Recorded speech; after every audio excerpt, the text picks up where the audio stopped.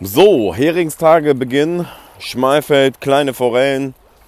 400, 500, 600 Gramm maximal. Dafür Masse, Masse, Masse, Masse ohne Ende. Die Heringstage werden diese Woche gehen, also sprich ab heute. Und dann werden die Heringstage bis nächste Woche Donnerstag gehen. Wir hauen euch den Fisch so um die Ohren jetzt.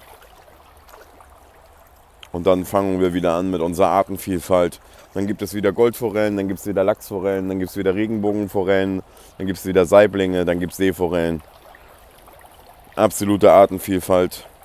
Forellensee Schmalfeld. Aber jetzt sind wir erstmal hier bei den Heringstagen und wie man sehen kann, Helder ist komplett randvoll.